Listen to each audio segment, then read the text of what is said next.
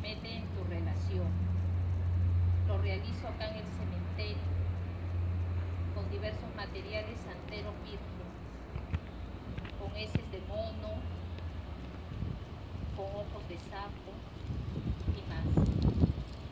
Incluso con carne, un sacrificio de un animal para que se lleguen a tener cólera, tirria, odio, se llegan a tener asco.